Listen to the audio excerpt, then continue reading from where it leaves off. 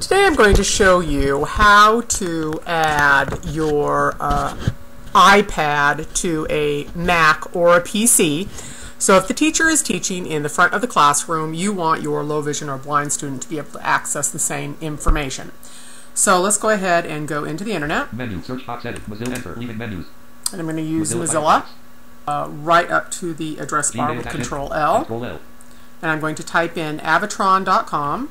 A V A T R O N Avatron C O N slash A P P S slash A I R com slash X slash A D I S P L A Y avatron.com slash app slash air dash display. Mozilla Firefox air Once you get to your page, you're going to do insert F7 for your links. dialog list view Avatron one of And you're going to go ahead and go uh, down to all your different options. Display download Air display connect for Mac So if you want a Mac, there uh, there you have it. And you can do all the different combinations, Mac, PC, PC to Mac, Mac, Mac, uh, uh, Mac to iTools. download Air display connect for Windows But I want to download Air Display to connect for my Windows, so I'm going to hit enter on that. colon make an iPhone, iPad, or Mac an external monitor. Download Air display And with Mozilla, Windows I get an additional Download Air display download software for Windows AirBox. dash Mozilla Firefox. Download Air display software for And Windows here's Mozilla my setup. Open the app, save file button I'm going to save my file. Download Air display software for Windows dash Firefox. 36%. So I'm going to go ahead and down arrow.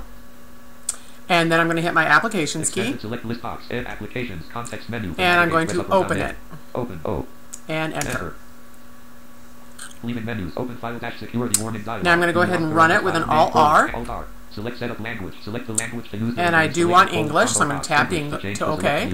OK button to activate space. And space bar. Setup dash air display support dialog. Now I'm just going to follow the wizard. So Alt. N for next. Alt A to accept it. Accept the agreement radio Alt. N for next. activate. Bar. And it installs. 100%. So I'm just going to do Alt I to install.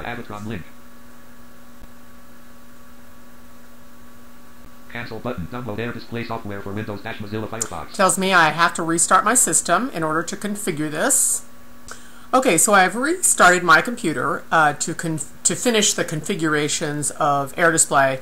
And visually, if I take you down to my system tray, and I'm going to hit my control key so you can actually see this. so You see Air Display with these two little monitors down here. I'll take you down there with JAWS also. So insert F11 as it is in your system tray. dialog. Air display. And Air. Display is your first one. So we're going to go ahead and hit Enter, on Air Display. No devices found unavailable. To You can also double click on that. Now, if you've named your uh, iPad, it will come up on there. But here's a really easy, fast way to get it moving. Other dot dot dot. Oh. Is just go to Other, and you're going to type in the IP address. So I've gone over to my iPad to get my IP address off of that. So I'm going to go ahead and type in my IP address. Two. 191. 6. 8. And you need to go through the same process of setting up your iPad, and that is an app, uh, which costs $9.99. So you will have to download the app onto your iPad. So I'm going to go ahead and, and hit enter and say OK on that. And then it's going to connect.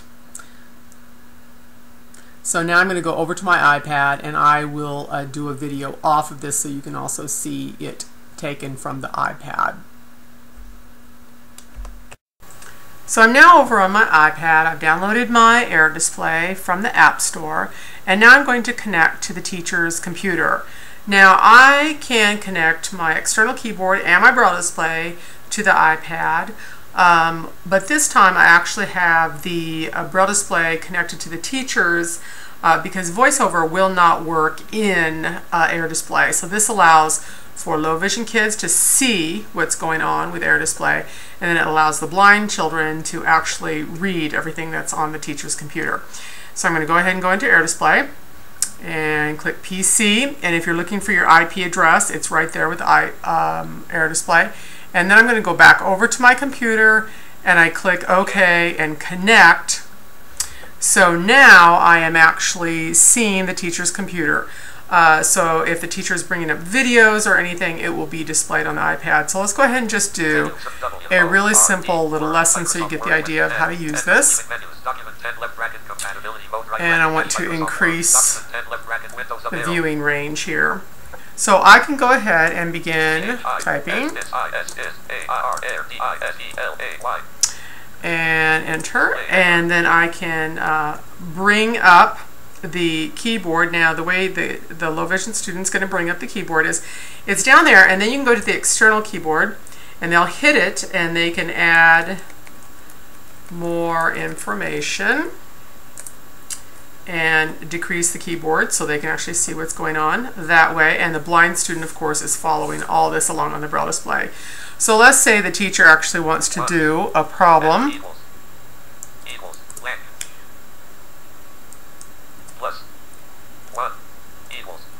Now the blind student's going to go over and they're going to read it and then they're going to answer. And they can go ahead and hit enter. And they can also say, Sign. S I S S C O O L. Cool. so they can actually input information from the braille display also. So let's let the teacher do another problem. Two. Equals. Space. And then the, uh, let's say the low vision student's going to answer, and they just go to their external keyboard, and they answer. Now, uh, the, let's say the child wants to do the problem, they can do this also. Now, the blind student is reading this on their braille display, and they can actually answer also. So you can have the blind students interacting, the low vision students interacting uh, with the teacher. So this is just a nice little way to um, go about and do your business. The teacher, of course, guides and directs everything, and uh, the low vision and blind students can join in.